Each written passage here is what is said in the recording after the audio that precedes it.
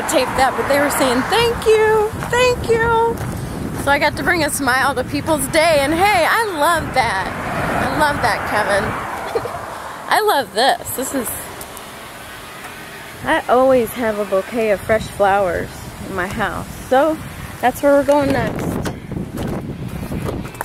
Look at this is my my 10 year old Prius. My 10 year old Prius runs awesome just has one little glitch. That light stays on, the check oil light, but there's nothing wrong with it.